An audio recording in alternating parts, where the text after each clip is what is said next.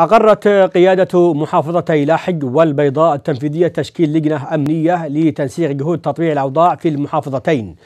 وناقش اجتماع برئاسة محافظ البيضاء ناصر السوادي والأمين العام للمجلس المحلي لمحافظة لاحج عوض بن عوض الصلاحي. ناقش الأوضاع الأمنية والتحديات التي تواجه تطبيع الأوضاع في مديريات المحافظتين. وأكد محافظ البيضاء على ضرورة تنسيق الجهود بين الأجهزة الأمنية بما يسهم في تحقيق الاستقرار والأمن في جميع مديريات المحافظتين.